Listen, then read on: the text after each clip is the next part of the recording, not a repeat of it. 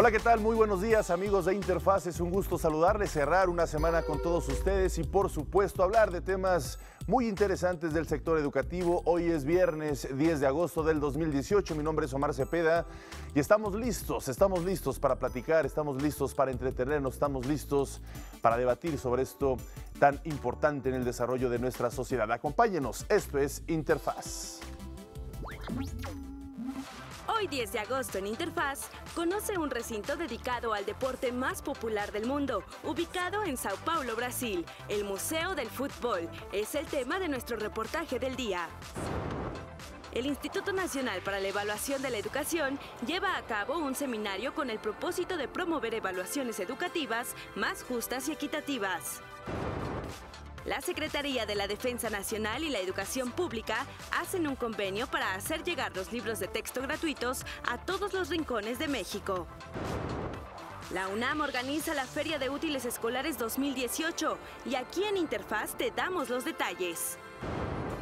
Entérate de qué se trató el primer Congreso Internacional de Lenguas, Lingüística y Traducción de la UNAM.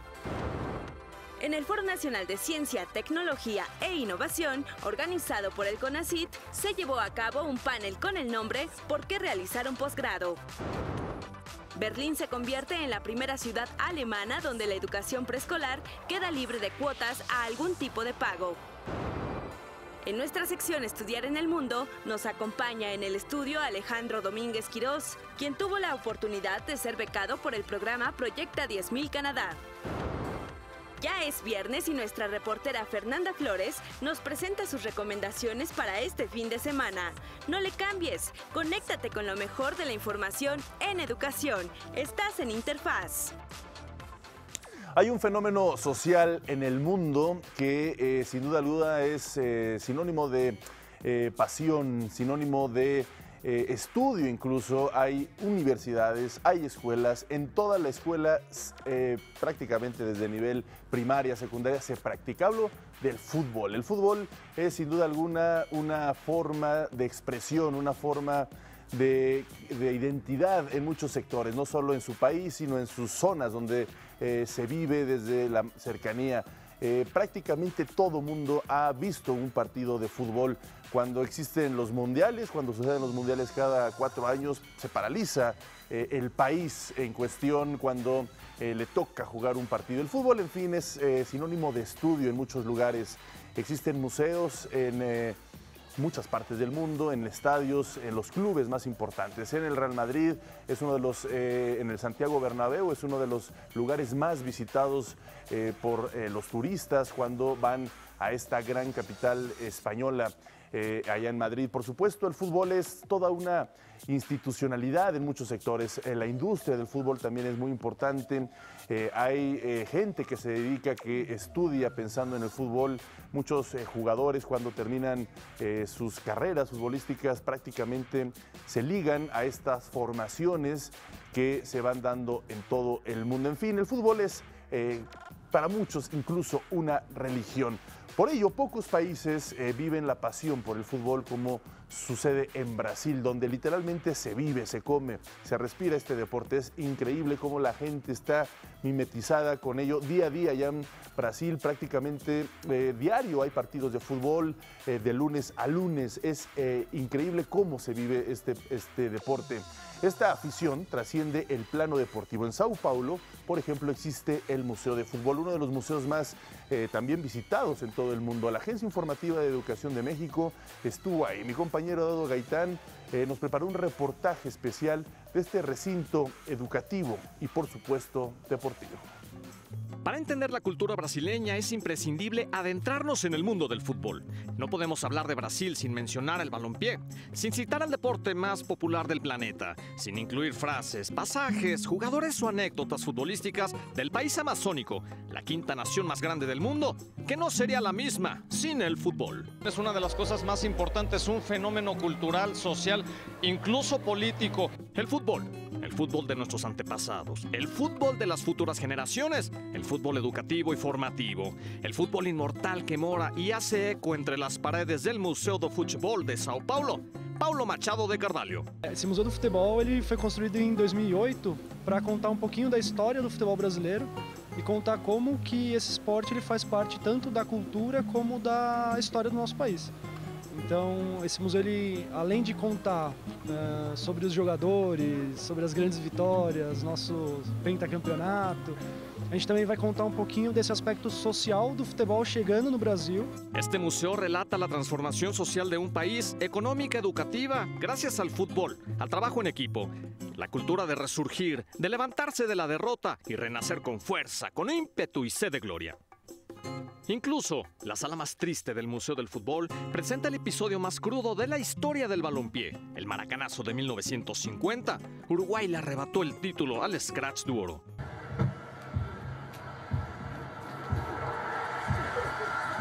Duro.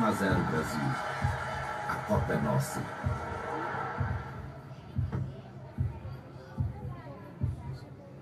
Um a um. A Copa ainda é nossa.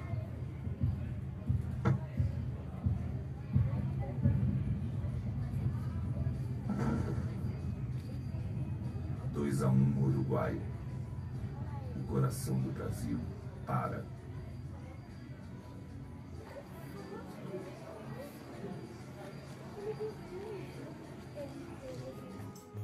Un cruel capítulo que fortaleció a una nación y que dio pie al nacimiento del pentacampeón, la selección más ganadora de las Copas del Mundo. Llegamos a un lugar histórico que sigue sigue teniendo actividad futbolística al día de hoy con los equipos más importantes del campeonato paulista, entre ellos el Sao Paulo, eh, también el equipo de Palmeiras, el Santos han jugado en este recinto, no solamente en el Brasil Airao, sino también en la Copa Libertadores. Incluso este escenario fue sede de partidos de la Copa del Mundo de Brasil 1950.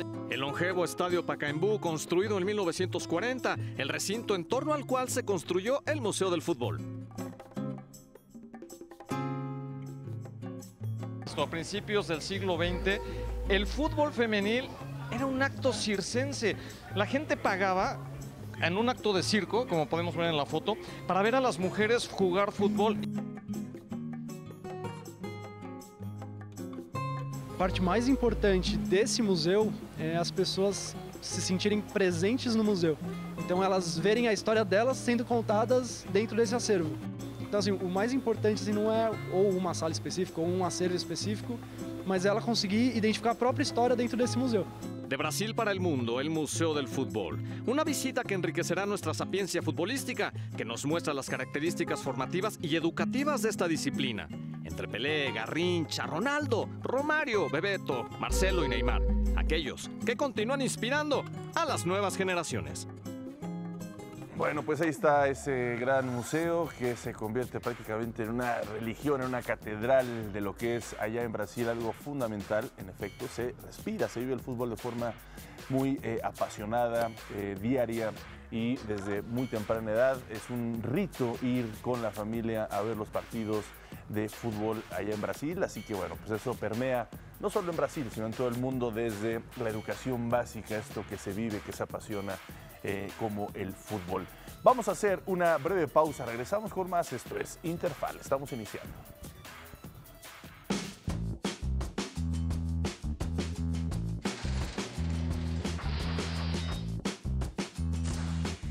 En 1860, los generales liberales Jesús González Ortega e Ignacio Zaragoza vencieron a Miguel Miramón, jefe conservador, en la batalla de Silao, Guanajuato.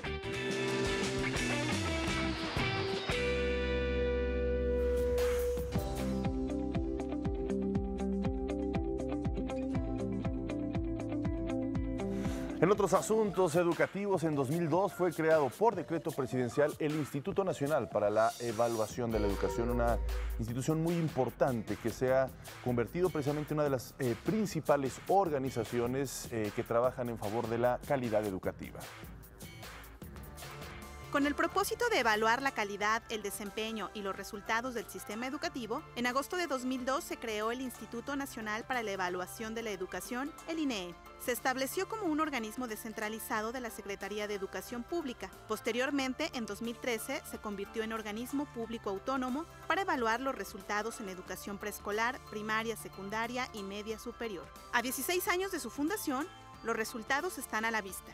Ya que ha ofrecido indicadores en diversos ámbitos que han servido para diseñar políticas públicas que contribuyen a elevar la calidad de la educación en México. Felipe Martínez Rizo, quien fuera el primer director general del INEE, dice a la Agencia Informativa de Educación que cumple con su misión de generar insumos pertinentes. Información sólida, información depurada, que, se ha verificado muy bien, que sea consistente, eh, organizada de acuerdo con una estructura sistemática, lógica, que permite eh, pues, eh, encontrar eh, la que se requiere para hacer diagnósticos de ciertos problemas. Durante este tiempo, el trabajo del INEE se ha plasmado en políticas educativas necesarias, incluso desde sus inicios, cuando el entonces presidente Vicente Fox, que con base en uno de los diagnósticos, determinó invertir mayores recursos a las telesecundarias del país, recuerda Héctor Robles Vázquez, director general para la integración y análisis de la información del INEE. Él eh, se dio cuenta de la magnitud del rezago que tenía las eh, escuelas telesecundarias, por ejemplo, y entonces hubo eh, una mayor asignación de recursos. Debido a la calidad de sus productos, el INEE ha logrado nutrir programas y estrategias en materia de evaluación educativa en diversos gobiernos estatales, fue un actor preponderante en la construcción de la reforma educativa y los programas de implementación, en tanto que es el organismo encargado de aplicar las evaluaciones a los docentes de educación básica. El INEE ha contribuido a mejorar la calidad de la educación en México, pero los retos que tiene enfrente siguen siendo importantes. Uno de ellos es seguir generando indicadores que sirvan a los tomadores de decisiones de políticas públicas, que deben tener tal precisión y calidad que ayuden a autoridades educativas, profesores, y a la sociedad en general, considera la consejera presidenta Teresa Bracho. Encontrar cuáles serían algunos indicadores clave para poder definir de manera mucho más precisa cómo avanza o en qué avanza la educación del país en pocas cifras, en pocas eh, construcciones que sean mucho más claras, no solo para el administrador, no solo para el legislador, sino también para las escuelas, para los centros escolares. La misión del INEE es y seguirá siendo diseñar y realizar mediciones del sistema educativo nacional, expidiendo los lineamientos a los que se sujetan las autoridades educativas federal y locales para beneficio de los niños y jóvenes mexicanos. Precisamente en el marco de su decimosexto aniversario, el INEE convocó a autoridades y especialistas a una serie de foros. En uno de estos encuentros fue eh, presentado el panorama educativo de la población indígena y afrodescendiente en nuestro país. La población indígena, hablante de lenguas originarias y afrodescendientes, son el sector de la población que más inequidad vive en materia educativa. En México, mientras la población tiene una escolaridad promedio de tercer grado de secundaria, los indígenas apenas logran concluir la primaria, mientras que en este mismo segmento de población, los hablantes de alguna lengua indígena solo cursan el quinto grado de primaria. En el Día Internacional de los Pueblos Indígenas, el Instituto Nacional para la Evaluación de la Educación, INEE, y el Fondo de las Naciones Unidas para la Infancia, UNICEF, presentaron el panorama educativo de la población indígena y afrodescendiente, en el que destacan los indicadores en esta materia. Silvia Schmelkels, consejera del INEE, destacó estas inequidades que impiden el garantizar el derecho al acceso a la educación de estas poblaciones. Bien la población no indígena y no afrodescendiente tiene un porcentaje de analfabetismo entre su población de 15 años y más de 4.2%, con la población indígena este porcentaje es cuatro veces mayor, de 17.8%.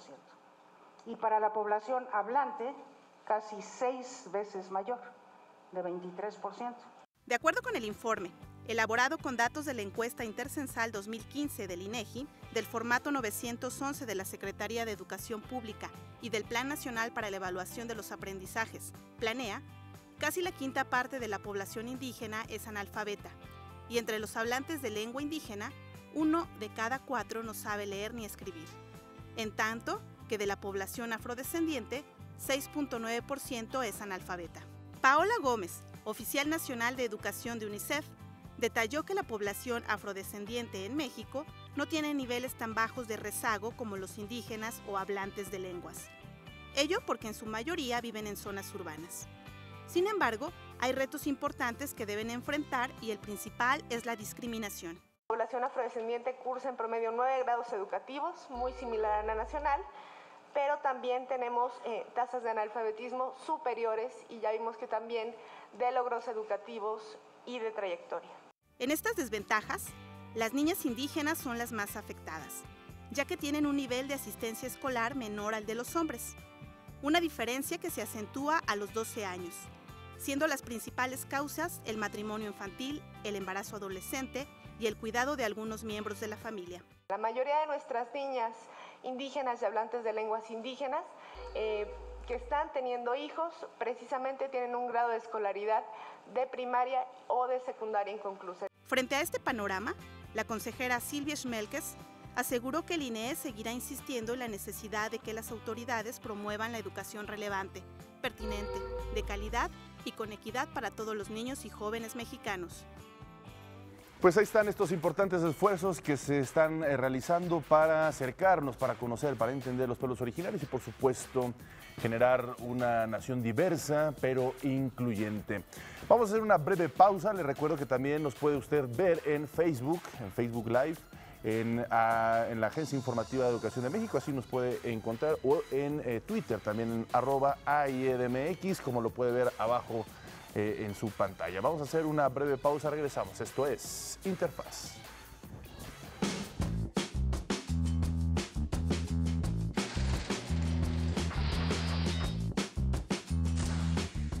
En 2001, el antropólogo Eduardo Matos Moctezuma fue homenajeado en el Museo del Templo Mayor, en reconocimiento a su trayectoria y aportaciones a la cultura de México.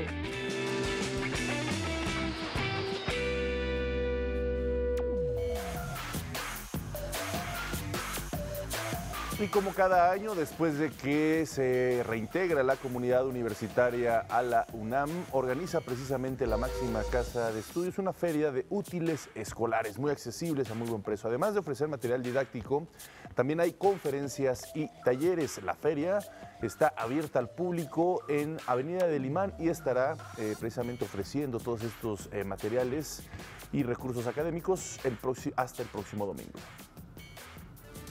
Las vacaciones para chicos de educación media superior y superior han terminado, mientras que para los niños de educación básica están a punto de llegar a su fin.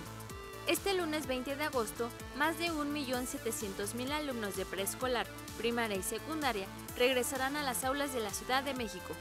El 25 de junio, la Secretaría de Educación Pública dio a conocer la lista de útiles para los pequeños. Los materiales requeridos son necesarios para que los alumnos realicen con éxito sus actividades desde el primer día de clase. Pinturas, pinceles, lápices de colores, tijeras, pegamento y hojas son algunos materiales incluidos en las listas.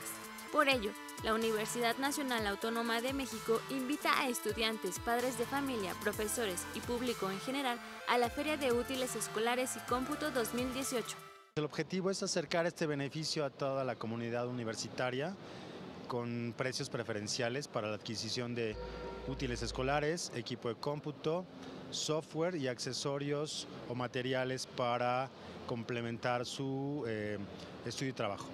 Ubicada en Avenida del Imán número 10, en el Centro de Exposiciones y Congresos en Ciudad Universitaria, la feria ofrece todo tipo de material para el próximo regreso a clases.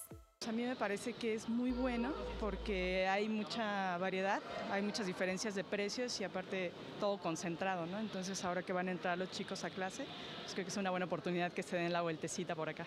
Además de útiles, los visitantes pueden comprar aparatos tecnológicos como computadoras, tablets y teléfonos celulares.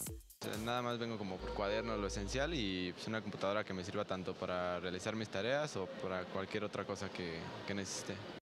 Por si esto fuera poco, se ofrecerán conferencias, talleres y charlas relacionadas con temas de tecnología y comunicación.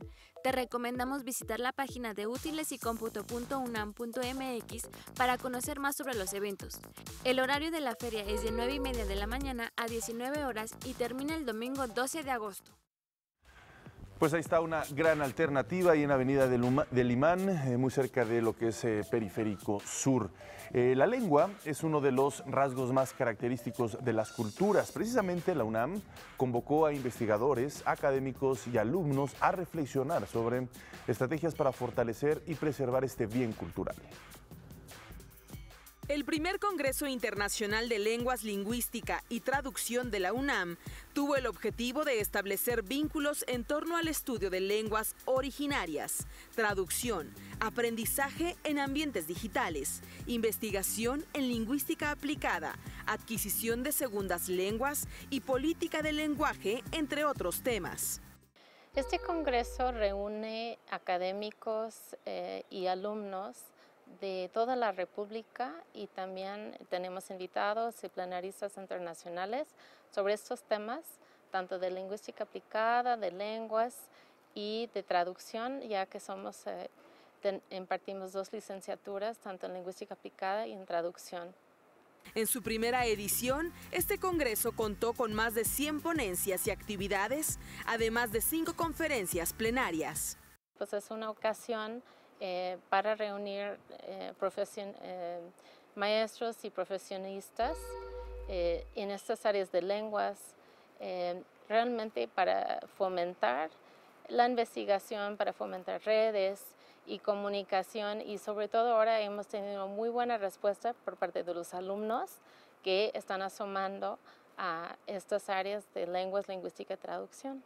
Durante este foro se abrieron espacios de discusión y debate entre académicos, asistentes, investigadores y estudiantes. Hay 12 temas eh, que, componen el Congreso y entonces de esos 12 temas pues hay eh, lenguas eh, originarias, hay didáctica de lenguas, hay, por ejemplo, aprendizaje en ambientes digitales, hay Em, una variedad, algunos que tienen que ver con adquisición de lenguas, eh, investigación en lingüística o investigación en lingüística aplicada. En esta edición destacaron las participaciones de catedráticos como Álvaro Echeverry, Noel Grould, Alma Rosa Espíndola, Marion Gran, entre otros. Las lenguas tienen una importancia muy significativa eh, las fronteras ya no son las mismas, la comunicación es otra. Es muy significativo em, porque hay temas que em, son interdisciplinarios, son multidisciplinarios. Algo que tiene que ver con la traducción puede tener que ver con em, los derechos indígenas, eh, algo que tiene que ver con no sé, las representaciones sociales, puede tener que ver con la migración.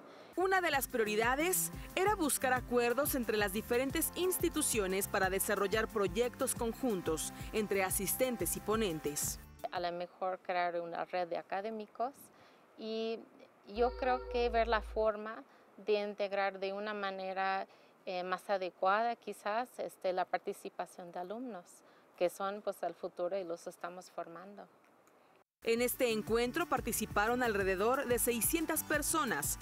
Los organizadores destacaron la respuesta positiva de los alumnos.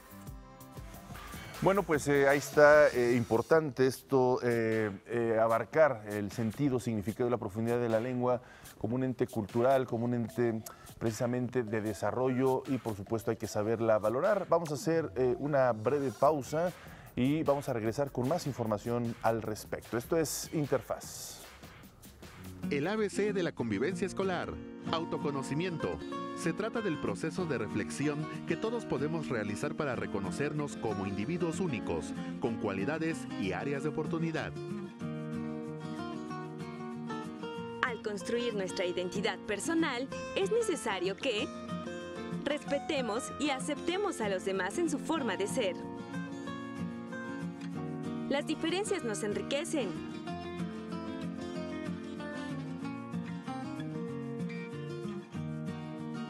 aprender a aprender, es necesario aprender a convivir.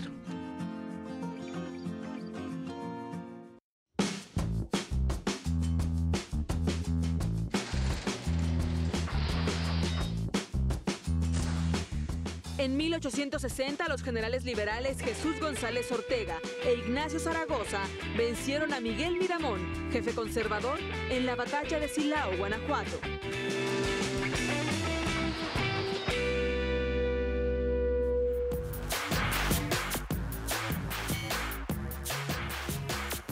Precisamente antes eh, del corte le presentamos información sobre un foro lingüístico en la UNAM. Le invito a conocer más detalles de la labor que realiza la Escuela Nacional de Lenguas, Lingüística y Traducción de la UNAM.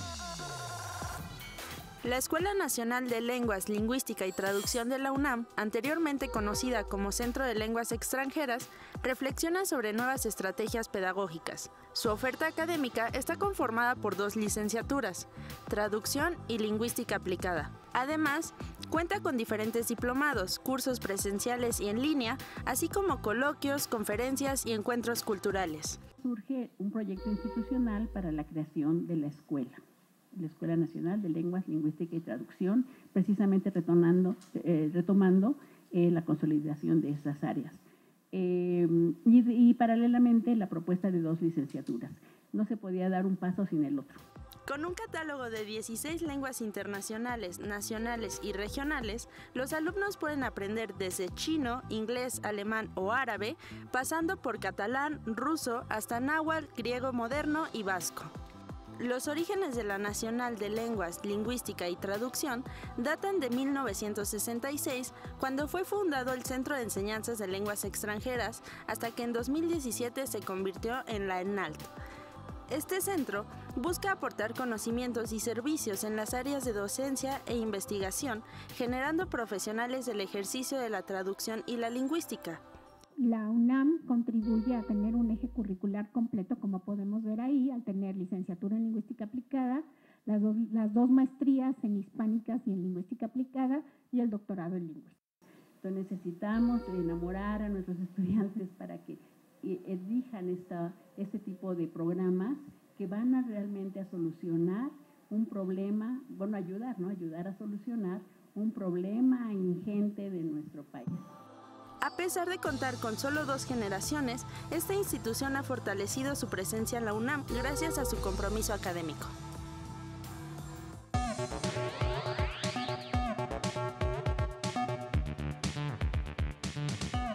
Y el Consejo Nacional de Ciencia y Tecnología cuenta con diversas estrategias para la generación y divulgación de contenidos científicos. Por ejemplo, la figura de ciencia abierta, que pone a disposición de alumnos y profesores diversas investigaciones de manera gratuita.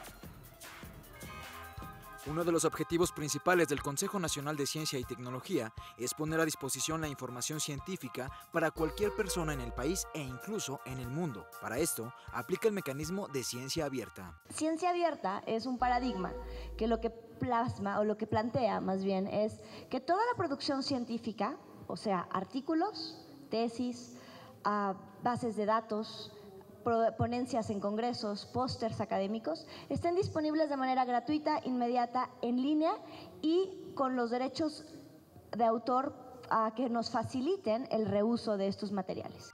Partiendo de esto, destaca la importancia de que autores de investigaciones y artículos científicos puedan hacer llegar su trabajo a estudiantes y otros especialistas a través de una licencia especial. Creative Commons es un mecanismo que básicamente ayuda a toda la comunidad a decir me, permite a mí como autora decir, esta obra que yo hice, te permito hacer eh, hay seis combinaciones, pero por ejemplo yo siempre uso la 4.0 que es la más abierta.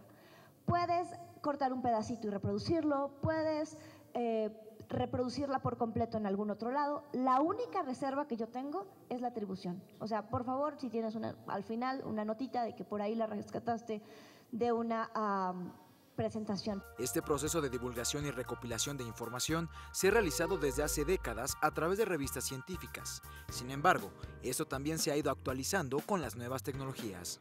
Sabemos que también ya hay un proceso de comunicación científica que escapa al proceso tradicional de las revistas, que son ResearchGate, academia.edu, ejercicios de preprints o de donde los académicos difunden su trabajo incluso antes de estar publicado con las revistas académicas. Muchos académicos tienen blogs, tienen este, sistemas de comunicación interno como Archive, donde, la, donde ya no necesariamente es la revista eh, científica quien tiene el control o más bien tiene la totalidad de este conocimiento. En este sentido, el CONACYT impulsa un repositorio nacional que es integrado por artículos e investigaciones de científicos asociados con el Consejo. A tres años de su creación, ya cuenta con 26.000 recursos de información y 900.000 consultas de estudiantes y científicos. Si sabemos que los investigadores están generando recursos importantes para que el conocimiento científico avance, depositémoslos, pongámoslos libres, hagamos que otras personas, estudiantes sobre todo, empiecen a trabajar con ellos. Encuestas, este, datos estadísticos, observaciones espaciales. Y los posgrados son fundamentales en la especialización académica y la formación de profesionales altamente calificados. En México, gran parte de los programas de posgrado son apoyados por el Consejo Nacional de Ciencia y Tecnología. Foro Nacional de Ciencia, Tecnología e Innovación, organizado por el Consejo Nacional de Ciencia y Tecnología, se llevó a cabo el panel titulado ¿Por qué realizar un posgrado? con el objetivo de crear un espacio de reflexión sobre las perspectivas de los posgraduados en el sector empresarial y tecnológico. Primero sería bueno, la oportunidad de estar eh, altamente remunerado, bien remunerado, en el sentido de que son personas que salen con alta calificación para trabajar en diferentes áreas, la alta especialización, la vinculación nacional e internacional. Es increíble el apoyo que se les da para asistir a congresos internacionales, para dar a conocer la, investigación que realizan. Una vez que salimos de la maestría o el doctorado, tenemos la capacidad de formar, formar o insertarnos en redes que puedan cambiar las dinámicas sociales Actualmente existe a nivel mundial alrededor de 14.000 programas de estudio de posgrado, de los cuales 9.500 se mantienen activos permanentemente. De estos, a través del Programa Nacional de Posgrados de Calidad, el CONACIT acredita y da apoyo de becas al 100% a 2.000 programas de posgrado. En lo que tenemos que pensar es en cuál es el posicionamiento que tienen esos posgrados. Dado que hay gente que le interesa ofrecerlos, dado que hay gente que le interesa cursarlos, que está dispuesta a invertir tiempo y dinero, entonces, ¿cuál es la ventaja? ¿Cuáles son los resultados? ¿Cuáles son, ¿Cuál es realmente el impacto de cursar estos estudios de posgrado? De acuerdo con Luis Alfonso Villa, secretario de Extensión e Integración Social del Instituto Politécnico Nacional, la economía y las industrias cada vez requieren de perfiles altamente calificados. Vamos a hacer una breve pausa. Esto es Interfaz.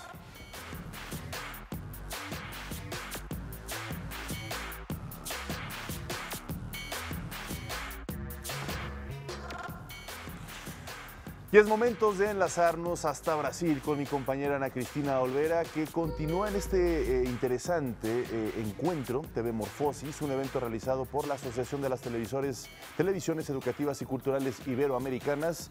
Eh, y justamente se encuentra con el secretario general de este organismo, Miquel Francés. Ana, muy buenos días, es un placer saludarte. Omar, amigos de la Agencia Informativa de Educación de México, me da muchísimo gusto saludarlos esta mañana. Nos encontramos todavía en Brasil, estoy en la ciudad de San José dos Campos y estoy en la universidad que está albergando TV Morfosis, el encuentro de las televisiones educativas y culturales iberoamericanas donde en esta ocasión se ha estado discutiendo en torno a las innovaciones audiovisuales, en torno a cómo integrar algunas herramientas como lo son el streaming de las diferentes plataformas o la utilización de dispositivos móviles en la creación de la televisión eh, educativa y cultural. Y hoy me encuentro, tengo el gusto y el placer de estar con Miquel Francés. Él es el secretario general de la Asociación de las Televisiones Educativas y Culturales Iberoamericanas y también dirige el taller de audiovisuales de la Universidad de Valencia en España. Muchísimas gracias por estar con nosotros. Muchísimas gracias a vosotros. Cuéntanos un poco acerca de este taller de audiovisuales que eh, hace la Universidad de Valencia y que está a tu cargo. Bien, el taller de audiovisuales es un proyecto, una iniciativa que responde ya a los inicios de la década de los 90 del siglo pasado. ¿no? Llevamos eh, desde el curso 92-93, e hicimos innovación ya en aquel momento y mm, bueno, de alguna manera estamos en la línea de lanzadera. Lo que pasa es que hemos ido adaptándonos, pero en los inicios, tú hablabas de streamings, hablabas de este tipo de cosas, nosotros ya eh, hicimos en, en, la sede histórica de la universidad, es donde está el rectorado, en un paraninfo, en una en una sala, un salón de actos antiguo y demás, eh, establecimos unas cámaras ya robotizadas, analógicas en su momento, ¿no? Y que comandábamos a distancia, etcétera, etcétera. Eran los inicios de todo esto. En la actualidad, en ese proceso largo, ¿no? Eh, estamos ya en una fase en donde ahora mismo hace dos veranos hicimos el primer TV en 4K que era el segundo que hacíamos en Valencia. Ahora haremos el quinto. Vamos en paralelo a esta universidad. Empezaron aquí el uno y nosotros a posteriori y así hemos seguido. Pues hace dos años empezamos ya a retransmitir en 4K el evento de TV Morfosis desde el Tau y mm, en este en estos dos años que hemos eh, hecho un TV Morfosis, una tecnología de alta calidad o de hiper alta calidad, eh, el retardo, el delay entre, entre un continente y otro es muy bajo, porque la conexión la hacemos a través de la red Iris española, que es la red de la investigación y la red europea.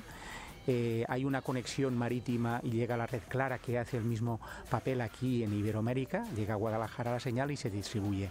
Estamos hablando de un delay que son 7 segundos, 8 segundos. ¿eh? Eh, está claro que aquí eh, no se emite en 4K, nosotros tampoco emitimos en 4K, pero claro, es un 1080 con una calidad magnífica. ¿Cuál es el papel que deben de jugar las instituciones educativas en la creación de la televisión y de los contenidos audiovisuales que estamos consumiendo en este siglo XXI? ¿Qué papel deben jugar las instituciones educativas? Yo creo que el papel de las instituciones educativas es muy importante, que aquello que llamábamos medios y hablamos de radio, de televisión, de prensa, ha habido una convergencia de esos medios. Yo creo que mm, toca ya hablar de contenidos transmedia, más allá si estamos en radio, en televisión o cualquier plataforma, yo creo que el concepto televisión es un, concepto, un concepto del pasado, aunque será, habrá muchos usuarios porque la televisión, digamos, estática, sin retorno, con la televisión que tiene retorno, va a convivir durante mucho tiempo. Eso nos ha igualado, nos ha dado una participación, ha socializado más esa eh, comunicación, ¿no? Y esa participación ahora es muchísimo más activa. Ese coto lo tenían las televisiones, los tenían los canales, los tenían las marcas de los canales. Esas marcas de los canales han migrado a las marcas de los contenidos. Hoy lo que prevalecen son los contenidos. ¿En qué plataformas, en qué ventanas, en qué pantallas? Bueno, lo importante ahora ya no es la marca de la BBC, es la marca de Juego de Tronos, es la marca eh, de cualquier, eh, cualquier eh, programa, ¿no? de cualquier contenido, contenido de calidad. Y ahí es donde voy, a la calidad. La calidad es muy importante liderarla. Y para dar calidad hay que dar rigor si hacemos comunicación y hacemos comunicación cultural y científica desde las universidades, debemos ser referencia para los medios públicos, privados, comerciales, de cualquier tipo. Nosotros creo que debemos en esta fase en la cual estamos, en la comunicación, de jugar un papel muy importante. ¿Para qué? Para que esos fakes permanentemente que, nos están bombardeando por unas partes y otras, bien desde grandes antenas televisivas, bien desde grandes grupos mediáticos, bien de redes muy horizontales, podamos combatir y que la ciudadanía sepa diferenciar el grano de la paja, es decir, la sustancia de lo aleatorio, de lo superficial. Creo que ese es el gran reto que tienen las universidades y también creo que juegan en ventaja. Otra cosa son los estadios ¿no? y los niveles de poder, claro. Eh, las universidades tienen unos mm, puntos, unos centros, unos epicentros en donde la innovación, la investigación es su fortaleza. A veces eso no va en paralelo a las responsabilidades políticas. Y ese es otro reto que socialmente, desde las universidades, desde la autoridad pública, se debe de compensar, se debe equilibrar. Yo creo que es muy importante esas recomendaciones que desde las universidades emanan para que el sistema eh, público de gestión y el, sistema mediático del futuro y en el cual estamos siempre, como te decía, en transición, tenga los equilibrios necesarios. Miguel, pues muchísimas gracias por esta reflexión. Reflexiones como estas son las que estamos viviendo durante esta edición de TV Morfosis en la Universidad del Valle de Paraíbas, aquí en San José dos Campos, en eh, Brasil. Regresamos contigo al estudio. Muchísimas gracias Ana Cristina. El lunes tendremos más información sobre este interesante encuentro de televisiones iberoamericanas. Eh, hoy concluyen precisamente pues estas... Eh, estas participaciones sobre TV Morfosis y el eh, noticiero científico y cultural iberoamericano. Vamos a hacer una breve pausa, regresamos. Esto es Interfaz.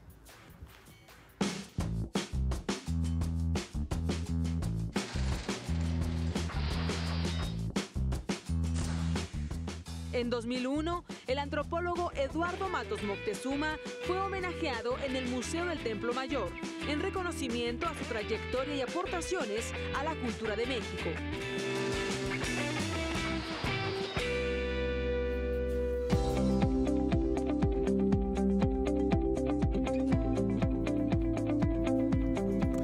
La Dirección General de Educación Superior para Profesionales de la Educación nos invita a conocer la historia de la eh, normalista Esmeralda Jiménez, quien participó en el segundo Congreso Nacional sobre Educación eh, Normal en Aguascalientes. ¿Cuál es su experiencia durante su participación en el CONICEN? Tuve la oportunidad de participar en el primer CONICEN. Eh, la experiencia fue grata. Yo creo que el principal motivo de estar aquí presentes es compartir la investigación que realizamos en la escuela normal. ¿Cuál será la ponencia con que participará en el CONICEN? Sí, la ponencia lleva por nombre factores que inciden en la elección de la licenciatura en educación preescolar y tiene que ver con aquellos factores y motivos que orientan a las estudiantes a elegir la licenciatura como una carrera profesional. CONICEN, espacio para compartir ideas. Bueno, muy contenta porque es un espacio donde, de normalistas, donde se tiene la oportunidad de conocer los trabajos que están desarrollando, desarrollando otros colegas. Realmente este, me siento muy contenta, la logística ha sido muy buena, el intercambio de ideas, opiniones, muy enriquecedor. Invitación a participar en el CONICEN. Bueno, la temática es investigación sobre educación normal.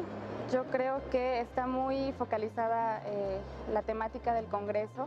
Creo que es importante este espacio porque es la oportunidad para intercambiar y dar a conocer lo que estamos haciendo, las producciones académicas. Y bueno, la invitación está abierta a que participen en las diferentes modalidades.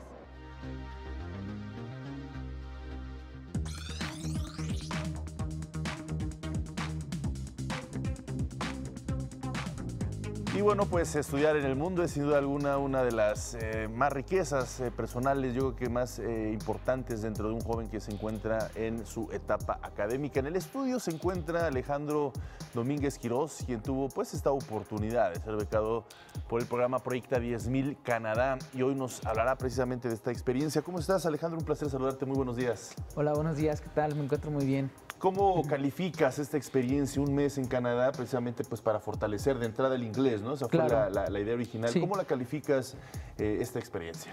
Bueno, es una experiencia muy grata. Yo creo que de las mejores experiencias que uno puede adquirir en la vida, conocer a otra cultura eh, distinta, es, es, muy enriquecedor. ¿En qué eh, parte de Canadá estuviste? Y platícanos cómo fue esta experiencia, dónde, dónde llegaste, eh, esta parte personal antes de hablar eh, de la parte académica? Bueno, yo llegué a Montreal, Canadá, con una... Era una mujer, se llamaba Helen, muy amable ella, me recibió con un abrazo, con las puertas abiertas. Este, ella era de descendencia venezolana y fue muy grato para mí porque ella, a pesar de todo, solo hablaba inglés y tuve la oportunidad de practicarlo día con día en la, en la cena. Claro, claro. Oye, ¿y la parte académica cómo fueron, cómo era tu, tu día a día de la semana? ¿Iban de lunes a viernes a estos cursos? Eh, ¿Y de qué hora a qué hora, por ejemplo? Sí, claro, íbamos de lunes a viernes, de 9 a, a 2 o 3 de la tarde, y de ahí nos llevaban a tours para conocer la ciudad.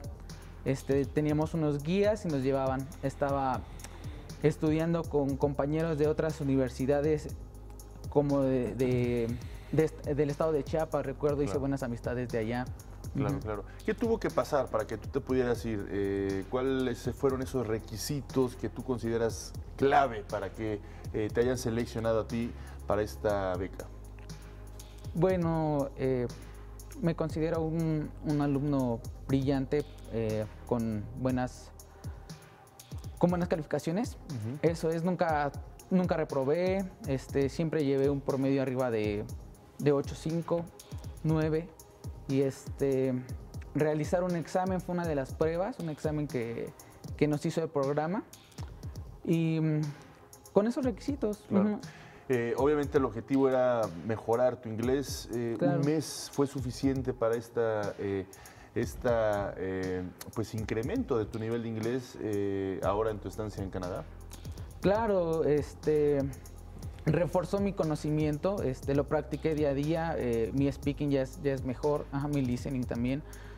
Eh, quizás eh, hizo falta tiempo, pero es, es- fue muy enriquecedor. Claro, ¿cuáles fueron las dificultades más complejas eh, o qué fue lo que más te, te generó en un momento dado? Pues digo, todo viaje, toda experiencia a veces tiene sus, sus, sus problemitas, ¿no? En, en tu caso fue, ¿hubo alguno que dijeras, bueno, tengan cuidado con esto, sobre todo para los jóvenes que nos están viendo, que se están animando para una beca o que están a punto de irse? Bueno, en, en mi caso yo puedo decir que la persona que me recibió fue maravillosa, la verdad me trató muy bien, fue, fue muy hogareño, muy acogedor estar con ella. En cuanto a algún problemilla que pasé, quizás fue el clima, que no estaba tan acostumbrado, hace mucho frío, eh, precaución, llévense todo Sí. lo que puedan para cubrirse, abrigarse, porque hace mucho frío en la calle. Oye, ¿y, y la forma, la sociedad, eh, tú eres de la Ciudad de México? o Del Estado de Del México. Estado de. México, pero bueno, finalmente la- esta zona me- metropolitana. eh, los ritmos, la educación, la cultura, el transporte público, eh, tengo entendido que allá pues son más organizados en algunos aspectos.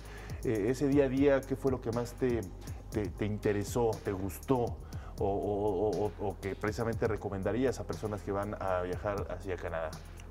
Bueno, a mí me impresionó su transporte, eh, muy, muy ordenado, muy organizado, como tú lo dices. Este, se paga una vez al mes o a la semana, como tú quieras, pero es súper seguro. De hecho, casi, a mí me sorprendió de que casi no hay policías, este, por lo mismo de que la cultura pues es- se respeta, o sea, no necesitan de, de, tanta, de tanto policía. Este, las calles súper limpias, todo el mundo cede el paso, respeta los semáforos, los autos respetando a los peatones. Eso es algo que quizá no, no lo vemos tanto aquí, pero sorprende y es, está, estaría padre que también se pudiera, pudiéramos Claro. tener esa, esa, esa mentalidad. Finalmente, Alejandro, ¿qué le dirías eh, a un joven que está por irse a estudiar o que quiere o que está dudando y que a lo mejor tiene algún tipo de miedo, salir del país, de esta zona de confort? ¿Qué le dirías? Bueno, yo digo que eh, deben de encontrar esa motivación para, para irse porque es una, es una grata experiencia, la verdad. No tengan miedo de, de participar en, en proyectos así.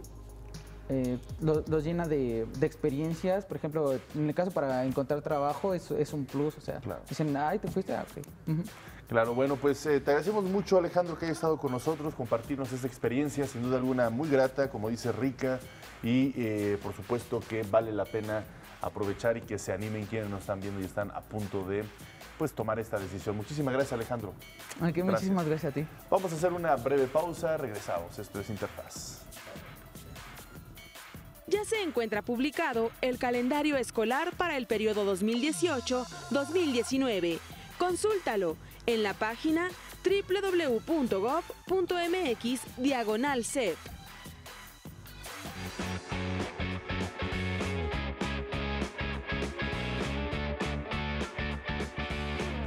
Y bueno, la educación preescolar en Alemania suele ser costosa. Ahora la situación cambiará con un nuevo programa de educación pública, pero quién mejor que mi compañera Elis de León, quien se especialista, eh, quien se especializa en analizar los temas eh, educativos en el mundo.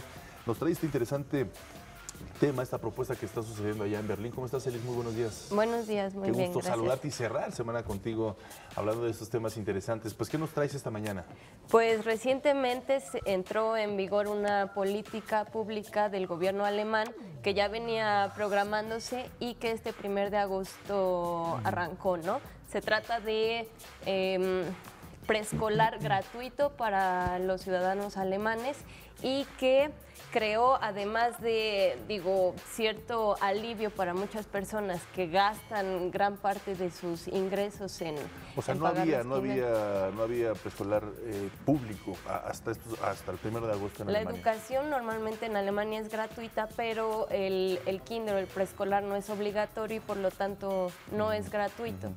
Pero ahora que, que entró en vigor, que será gratuito para gran parte de, de los estados en Alemania, entró eh, también este se generó una mm, parte como de no este ¿cómo decirlo? Muchas personas se vieron en este, en este dilema de que no hay suficientes lugares en, Claro, en los kinders para, para soportar toda esta demanda ¿no? que tienen los niños y Claro, las ¿y cuál es la idea? Eh, eh, ¿Comenzar desde pronto la, la edad, la edad educativa o más bien prestarles un servicio a los padres que eh, trabajan? tiene que ver con prestar un servicio y este, el hecho de que ahora sea gratuito como que desató muchos puntos que no estaban considerándose, ¿no? Como la migración, como las personas que están ocupando los lugares en, en los puestos, las mamás que no tienen tiempo de ir a trabajar y contrastes sociales que Alemania ya venía arrastrando con, con poblaciones que tienen diferencias, ¿no? Del este y en el oeste Claro. de, de Alemania, además de la infraestructura que ahora es mucho más notoria que hace falta y que no estaba lista para Claro. recibir a todos estos niños. Claro, pero bueno, pues Alemania, quien tiene uno de los sistemas educativos más eh, robustos, importantes del mundo, eh, pues se, se, se, eh, se integra ahora esta nueva forma de eh, abrir las puertas a los más jóvenes, a los niños. Vamos a ver de qué se trata con este reportaje que nos presentaste. El primer jardín de niños del mundo se erigió en tierras germánicas. Tradicionalmente, este nivel educativo significa una fuerte inversión para los padres. En algunos casos, las cuotas ascienden a 1.400 euros mensuales, aproximadamente unos 30 mil pesos mexicanos. Sin embargo, la situación dará un giro. En Berlín, el sistema preescolar quedará libre de cuotas. Le seguirán Baja Sajonia, Hesse y Brandeburgo. La medida, que ha sido tan bienvenida como criticada, plantea hacer de la capital alemana el primer estado donde la educación preescolar sea gratuita. Al no ser parte del sistema de educación pública regular, no es obligatoria y requiere cuotas que varían dependiendo de la zona y el ingreso económico de los padres. A pesar del gasto que implica para las familias, en Alemania aproximadamente 80% de los niños entre 3 y 6 años asiste al kinder. Esta política busca hacer de Berlín un destino más atractivo para familias jóvenes.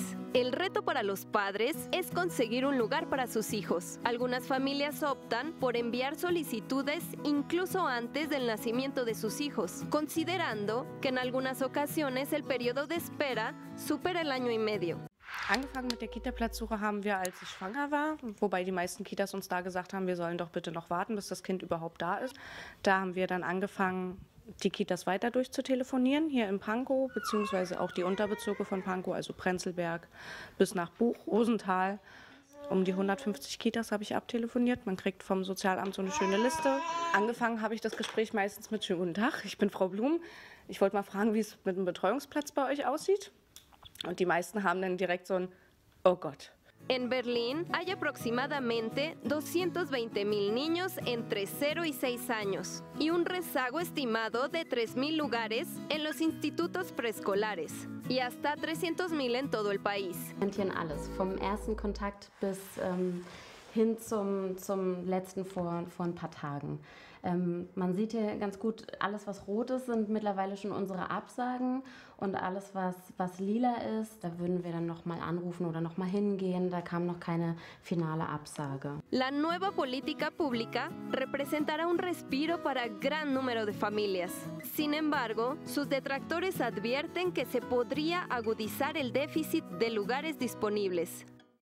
Na, von Chaos würde ich nicht unbedingt reden, aber die Situation ist schon sehr akut. Also wir stellen fest, dass, ähm, dass wir einen großen Ansturm auf die Kita-Plätze haben, auch mehr in, als in den vergangenen Jahren durch die Gebührenfreiheit in Berlin zum Beispiel und den Platzausbau und jetzt auch den Rechtsanspruch auf einen Kita-Platz ab dem ersten Lebensjahr sind es doch noch mal deutlich mehr Eltern, die das auch in Anspruch nehmen möchten für sich, was ja auch gewollt ist und was ja auch durchaus, äh, durchaus politische Zielsetzung war.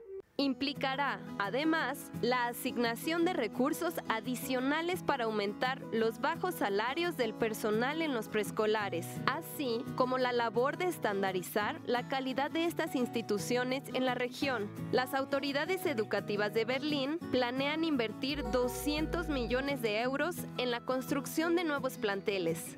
A nivel nacional se estima que proporcionar este servicio gratuito en el resto de los estados le costaría al gobierno federal una inversión inicial de más de 15 millones de euros.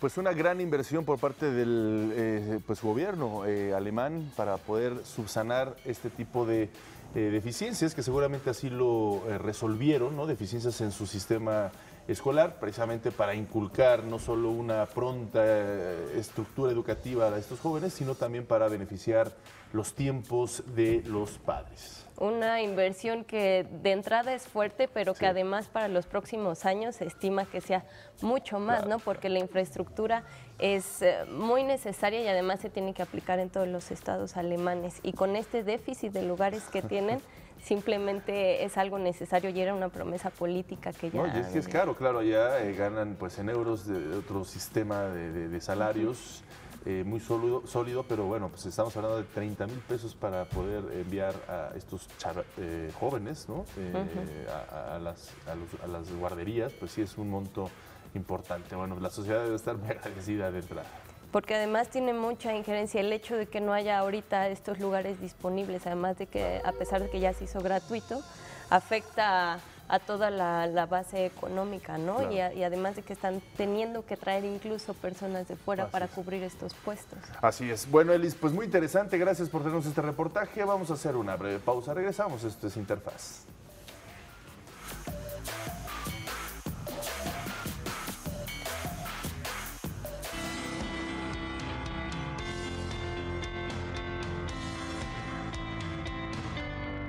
Y bueno, uno de los momentos más esperados de la semana eh, está por iniciar aquí en Interfaz con Javier Aranda y sus confesiones literarias. ¿Cómo estás, eh, Javier? Es un placer saludarte. Cerrar semana, por supuesto, contigo y hablar siempre de temas tan interesantes. Hola Omar, buenos días. Pues sí, me puse a releer un libro que da cuenta de una publicación importante en México que fue la revista Plural, una revista que dirigió Octavio Paz, y me puse a releerlo a partir de- del fallecimiento de María José Paz. Sí, sí, sí, sí. Se muere ella y pues ahora sí que sorprendida mucha gente se da cuenta que los archivos de la revista Plural y Vuelta aparecen en, en- en una universidad de Estados Unidos y hasta donde yo hablé con la, con la viuda antes, meses antes de que muriera, desgraciadamente yo le di la noticia de que estaba allá y no lo creía hasta que, bueno, le dije, pues se puede consultar por internet. O sea, uno si entra a la página de, de esta universidad, pues puede acceder a los archivos que yo, ahora sí que yo los tuve en mis manos porque yo los ordené.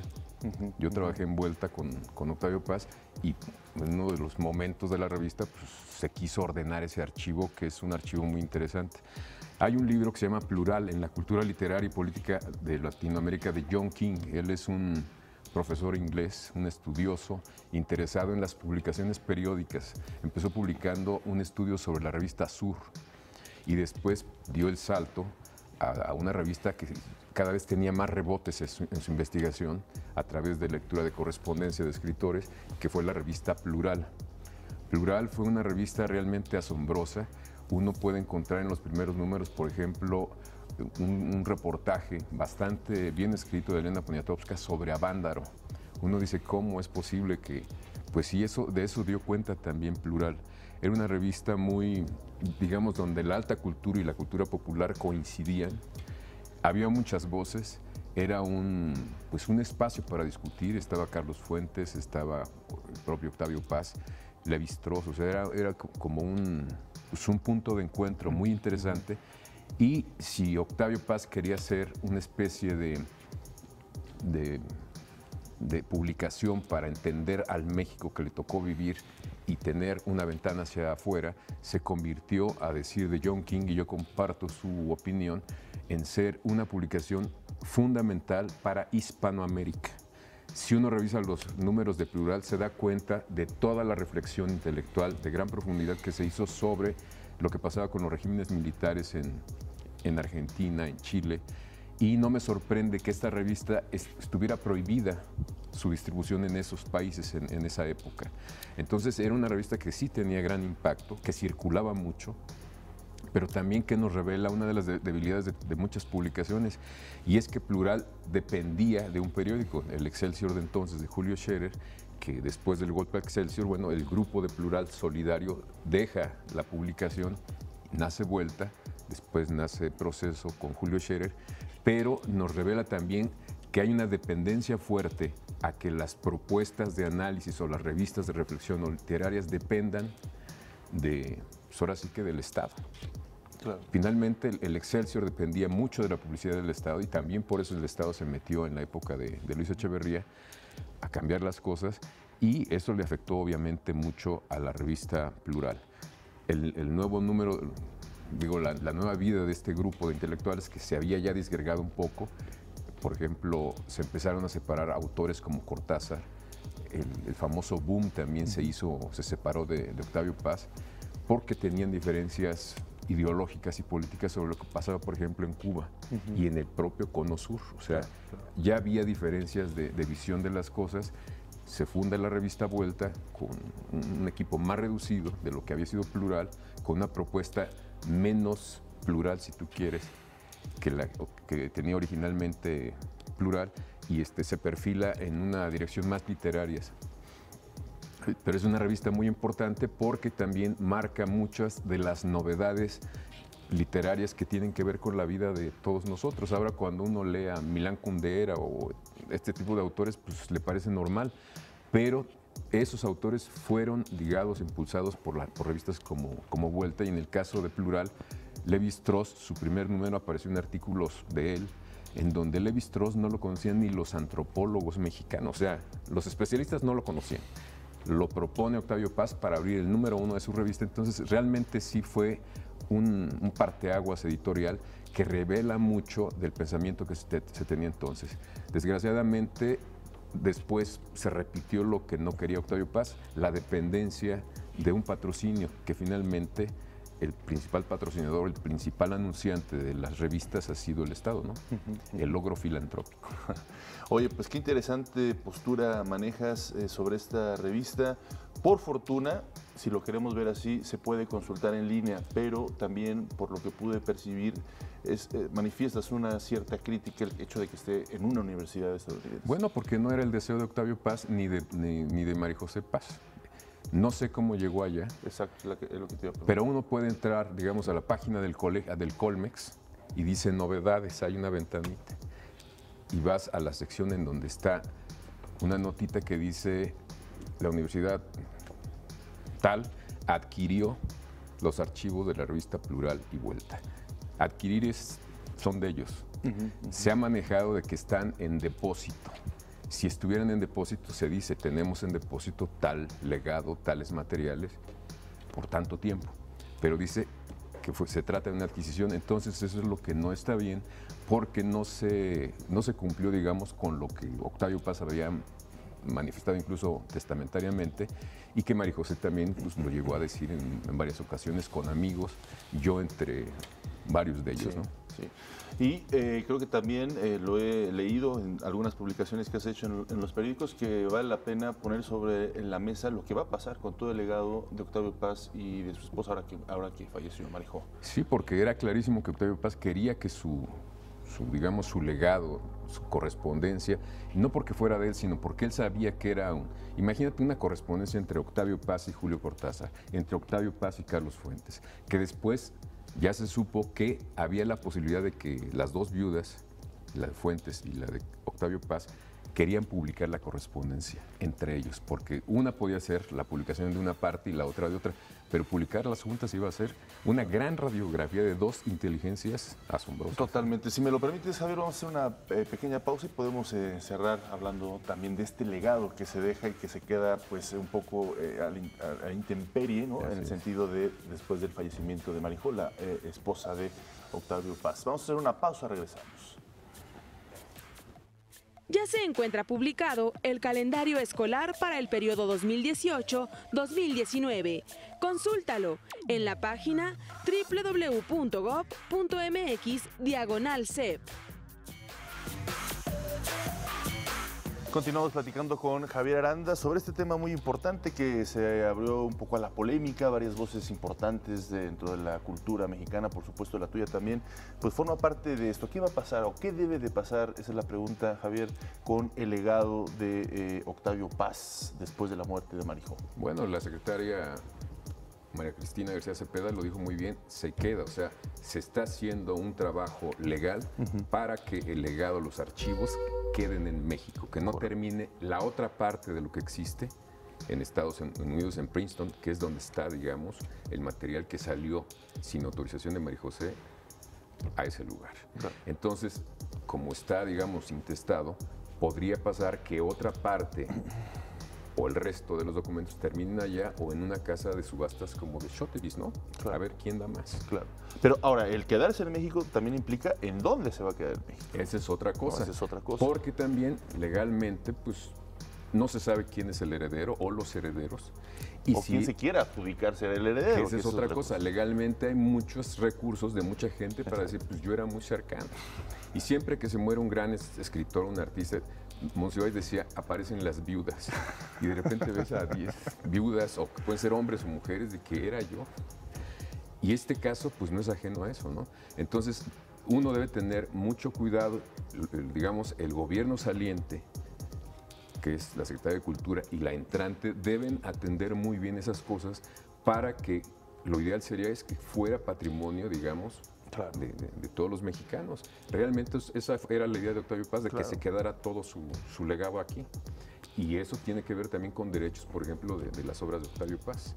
Eso no quiere decir que no se publiquen fuera, se pueden seguir publicando, pero que instituciones construidas democráticamente durante mucho tiempo, yo creo, estoy seguro que tienen la capacidad y, y la inteligencia con equipos de personas muy bien preparadas para decir, claro que se puede publicar Octavio Paz en turco y vamos a dar los derechos que, le paguen y que sirva, digamos, para un fondo para seguir manteniendo este legado que es yo creo que debe ser de todos los mexicanos. Sin duda alguna, pues eh, te invito a que le sigamos dando eh, voz a esto y sigamos platicando este tema conforme se va desarrollando, pero sin duda alguna el Estado debe de eh, tener presencia y dirección en esto que va a suceder con... Imagínate que de repente te encuentres cerveza Octavio Paz o bolígrafos, el poeta, claro, sería claro. terrible. Claro. Bueno, pues eh, muy de acuerdo contigo. Gracias, Javier, por darnos esta, esta importante pues, información y orientación de lo que está sucediendo con el legado de Octavio Paz. Muchísimas gracias. a ustedes. Y bueno, pues eh, les dejamos las recomendaciones para este fin de semana, eh, recomendaciones culturales. Vamos a verlas. Como todos los viernes, te presentamos una serie de actividades culturales y artísticas que puedes realizar este fin de semana y no quedarte encerrado en casa. Encuentra una mezcla entre el arte y la danza en el Centro Cultural España a través del performance Take a Seat, el cual deconstruye elementos, movimientos y objetos para transformarlos en nuevas propuestas e ideas. La obra originaria de la bailarina y coreógrafa española María Larribot cuenta su evolución artística a través de instalaciones y performance. Si lo tuyo son los tatuajes, el lugar ideal que debes visitar se encuentra en la colonia Roma y se llama el Museo del Tatuaje. Este joven recinto cultural es el único en su tipo en México y hace énfasis en la historia y tradición de este arte, a través de una muestra fotográfica, juguetes, revistas y una vasta recopilación de máquinas rudimentarias. Este museo invita a reflexionar sobre los estigmas del tatuaje, al igual que el valor cultural e histórico de esta práctica. Pero si lo que quieres es pasar una velada diferente, no te puedes perder una edición más del picnic nocturno, este sábado 11 en el bosque de Chapultepec. El punto de reunión es el Jardín Botánico, generando una experiencia única donde cenarás y escucharás música bajo la luz de la luna. Por último, el Centro Nacional de las Artes y la Biblioteca Vasconcelos serán sedes del segundo Festival Internacional y terceras jornadas Música y Ceguera. A través de diversas actividades como conciertos, ponencias, mesas redondas y talleres, este festival tiene como objetivo promover y reconocer a intérpretes con discapacidad visual. Ahora ya no tienes pretexto para quedarte en casa. No olvides que si realizas alguna de estas recomendaciones, puedes compartirnos tus fotos a través de nuestras redes sociales. Pues ahí están esta vasta actividad, estas actividades eh, pues, culturales en la Ciudad de México.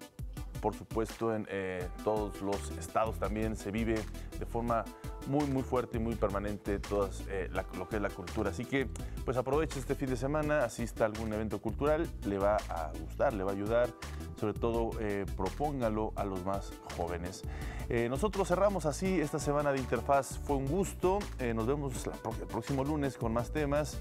Mi compañera Ana Cristina ya estará acá de regreso. Así que disfrute su fin de semana, aprovechelo. Nos vemos el lunes.